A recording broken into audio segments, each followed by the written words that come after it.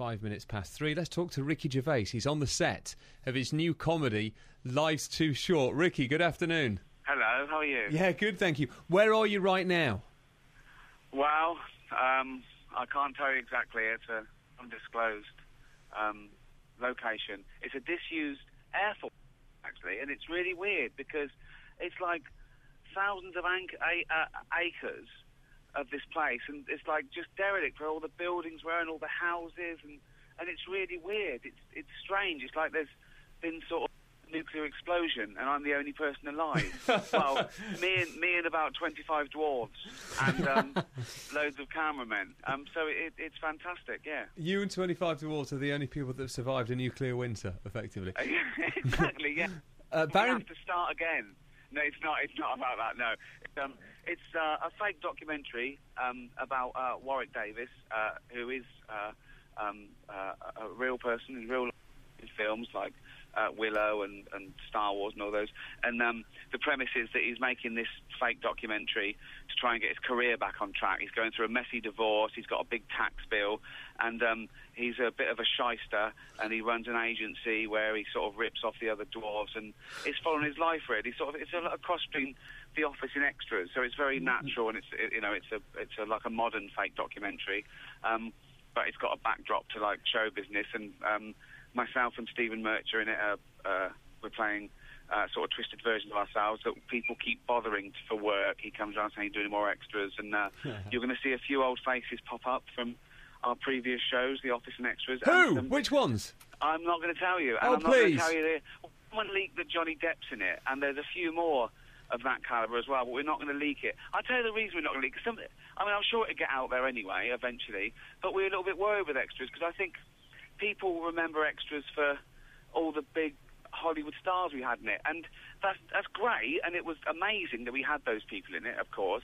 But it wasn't really about that. It was it was uh, you know it was about some normal people's lives, and um, uh, we want people to concentrate on what the show's about. And these are bonuses. We've got some amazing people lined up, but um, we don't really uh, we don't want to put, put the emphasis on that. You It's, don't want um, it to overshadow it. Well, even though you don't want that to happen, um, please ju- just just consider giving us one other name. Uh, oh, um, no, I can't. No, I, I can't. okay. I'll tell you what. Go- when, what? when, when, if anything, uh, if it looks like it, you'll be first. Okay. I'll, I'll, you'll be the first to know. Thank you. When you so Ricky, whenever I've spoken to you before, uh, when you've talked about writing the office and extras, you've always talked about how important it is to write about what you know. So you worked in an office, you wrote the office, and then you spend a lot of time on TV sets, so you wrote extras. What do you know about the lives of dwarves? I know a lot now.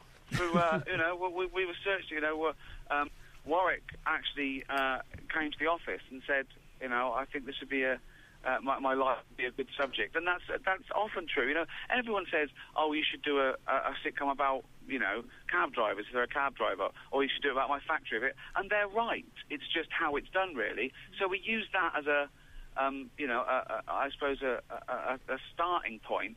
But there's nothing as tantalising as real life. I, I love blurring that line between, uh, you know, reality and, and, and fiction. And um, you know, and uh, the most flattering thing I ever heard was that when The Office first came, some people thought it was a real documentary for the first few minutes, which is exactly the aim. So we love doing that, and I think realism, the real of something is, the more it pays back. So, uh, um, you, you know, it's it's got those sensibilities of, of the office, and um, you know, the other thing about it is. The office wasn't really about selling paper in Slough. It was about people thrown together in their lives. It was about a, a man having a midlife crisis. It was about two people being, you know, being um, getting together. Just like extras. Extras wasn't really about media. It was about some a few people having a struggle in life, trying to get off that bottom rung of the ladder. So, Dad's army wasn't really about the war. It was about a group of people that arbitrarily thrown in, and they, you know, try again trying to do something with their lives. That that struggle. So everything's about that really. And this his struggle is that not only is he three foot six and with a tax bill, a messy divorce, um, but of course it's that it's that added thing of that that camera again. That just like David Brent thought this has sought me out. Just like all those people that go on X Factor and th- these things, and they think their life is going to be sorted if they just get on telly. These people who do documentaries about themselves living their life like an open wound, and they think the papers are going to love me now, and of course it goes terribly wrong. So it's all about those things: anxiety, angst, um, ego, all those things that uh, everyone knows about. So um, Yeah. uh, that, that, that, that's where the comedy comes from. That, that sort of um, that desperation, that angst, and people. Uh, all the all the greatest characters, like from you know uh, uh, Captain Mainwaring, Tony Hancock, Basil Fawlty, they've all got the blind spot. Yeah. They all think they're something they're not, and they all perceive themselves differently to the way the rest of the world perceives them. And that, and that's just such a comedy staple, really. Did- yeah, that's what Brent was. What did the comedy Brent was the gap between the gap between what he thought he was and what everyone else thought he was. Exactly. And the strange thing was that David Brent was he was all right really, but his biggest mistake he sort of mistook um, popularity for respect, and that was like again that's what people do. They think uh, if I'm famous, then then I'll be my life will be brilliant. Um, so it's uh, really Uh, with the, uh, you, you started filming this week. I think you started filming on Monday. Um, yeah. just tell us a bit about how it's been going. You've been you've been pleased with it so far. Well, I've been keeping a, a a thing on my blog actually, and um, as I said last night, it's going too well. I'm worried that there's that there's not film in the camera or something because it, it's it's going great, and um, uh, uh, we've really hit the ground running like we've never been away. So. Um, and, and me and Steve think it's the out and out funniest thing we've done. Do you? I suppose we've left away, uh, we've left behind that sort of um, the, some of the drama of extras. We've left away some of the sort of romance and poignance and I suppose um, pathos of The Office. So it's much more, you know, funny things happening. Like a modern documentary, they just cut to the, you know, what what was funny, well, this guy, what what he wanted to do and what happened. So um, it, it's it's even though it looks still sort of very postmodern and all that, it's it's quite it's quite traditional in the sense that it's just funny. It, we're just going for comedy this time. Sounds great. I mean, you've done obviously a couple of films. Some of your most recent projects have been have been films. Is it quite uh, enjoyable, quite exciting to get getting back to making television, to getting back to Um, doing a sitcom? Uh, well, I never went away. It was just it, it just happened that I did all my TV in one block. Then I did like three movies in a row. But I've never. We've always wanted to get back to this once we had a good idea. We didn't do things for the sake of it. Television's great, and I think television now, um, it, it's there's there's much more scope for you know exploring the pure art of it. With films, there's so many people involved. They have like discussion groups. They have there's so much money that it, it's like there's a there's you know unless you're really careful. You know, uh, it's like a some sort of democracy, and then they worry about stuff and they pull it if it's doing well. With something like HBO, things like The Sopranos and The Wire, they would they would never have been made as films. You know, um, they can really care about you know people getting into it. You know, those uh, they don't care about anything other than is it a good program. So I, I, I'm I'm pretty faithful to, to TV. I've never been one of these things that uh, thought you know that that's the end of TV now. Um, so uh, it, it's great to be back, and it's quick. It's more immediate. Um, and uh, you, you know you can you can do a lot more I think with with TV because um, you've got you've got seven weeks to tell a story as opposed to an hour and a half. You know the people Yeah. are worrying about people getting bored in the cinema or going to see another cinema. It's crazy. They worry about the length because they've got to get four showings in. with TV, you know you can you, you can do what you want, which is which is just so liberating. There was a brilliant bit in the Times at the weekend about how uh, television creatively has now completely uh, completely overtaken Hollywood.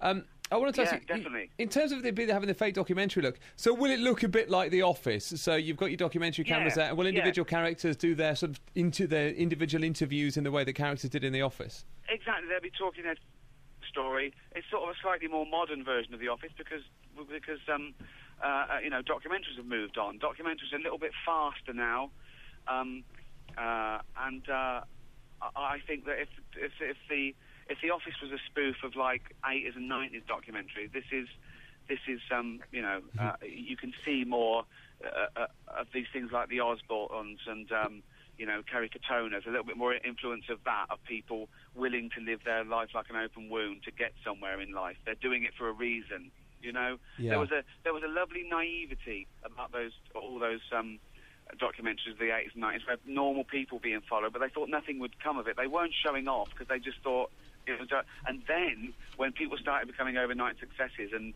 and sort of like famous for ten minutes, people started doing them to be famous. And um, there's been a lot more of that lately. So uh, there's there's a slight more, there's slightly more of an edge to it. And Yeah. you, and you referenced earlier people that, that, that go on all these sort of talent shows and use them as a shortcut to, to fame, and then uh, you know kind of think that fame will make them happy. These programs, like the X Factor and Britain's Got Talent, is, is on telly with all its live shows this week. Do you watch all of those shows? Uh, not anymore. I must say I did. I was, you know, the first, the first season of Big Brother. Um, I was fascinated when I thought it was a, like a true social experiment. But then, you know, after the first few, people were going in and thinking, right, if I stay for this weekend, I'm going to, I'm going to walk out on the Friday because then I can get hundred grand for the news of the world. and it's suddenly, it's sort of like, you know, it, what we were watching them doing something to their career. It's like, what do we care? And you know, uh, same some of the X Factor. You know, now I watch shows like Talent, and uh, it's like the ones that are wheeled out, the bewil- bewildered people that are wheeled up for us to laugh at. They come back at the end. You know, it's it seems all too produced and contrived. And um, uh, but um, I, I must admit, yeah, I, I was fascinated by those things at the beginning. I just sort of watch them less now because I don't think I can get anything from them anymore. I think they've um, they- Yeah. they've. Uh, You've got the Yeah. joke. Yeah. Um, yeah, I think so. Yeah, yeah. Uh, by the way, good news. You were, you were describing the outline of, of, of Life's Too Short because we're talking to you on the set of Life's Too Short. And uh, Barry hero, boxing hero Barry McGuigan was laughing his head off as you described the premise. Oh, excellent. Is he there? I'm I'm sitting listening to you, Richie. I I, I, I, Ricky, I can't I can't tell you how interesting you are. I love to listen to you just all night long. You're Thank you very you much. give a, give a great perspective on life and and and uh, fame and celebrity, isn't it? Isn't it horrible sometimes? And, and what people will do. He's for- very wise, five- isn't he? He's brilliant. He's absolutely uh, brilliant. It's, it, it's a subject I'm fascinated with, and uh, I, I, I tell you, when Andy Warhol, he could never have known how prophetic his statement was that in the future everyone will be famous for 15 minutes. I mean, it, it's got right. There was a, I I told you this before. I think there was a survey recently amongst 10-year-olds, um, and they were asked what they wanted to be when they grew up, and they said famous. Just that, that'll do. I'm being called. They're getting angry at me. I've got to go back. All I've right, got- I've listen, got- Ricky, let's talk to you again on the set sometime, and, and and Okay. please let us know how it's going. Well done, Ricky. Good Right, luck with Thanks, it. Thanks, everyone. Thank you, Ricky. Cheers, bye bye. bye. There's Ricky Gervais. He's talking to us on the set of Life's Too Short, his new comedy with Warwick Davis.